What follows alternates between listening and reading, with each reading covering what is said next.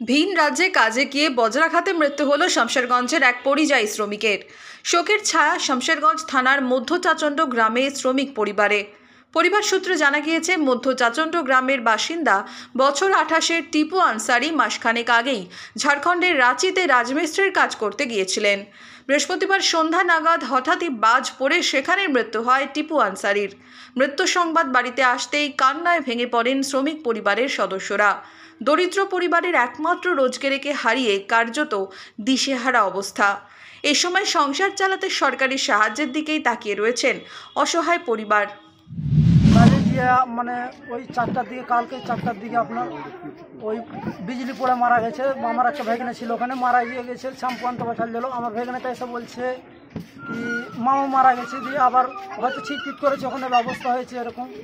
দিয়ে আবার হসপিটাল নিয়ে যাওয়া হয়েছে। দিয়ে আমরা শুনতে পেলাম দু ঘণ্টা পর ছটার দিকে আমরা কাছে বলল কি, মারা গেছে। আমি চাই কি সরকারের কাছে কোনো, যেন কোনো ব্যবস্থা দেওয়া হোক। মধ্যবঙ্গের সমস্ত খবরের দ্রুত আপডেট পেতে সাবস্ক্রাইব করুন আমাদের ইউটিউব চ্যানেল মধ্যবঙ্গ নিউজ। সমস্ত খবরের দ্রুত নোটিফিকেশন পেতে বেল আইকনে ক্লিক করুন।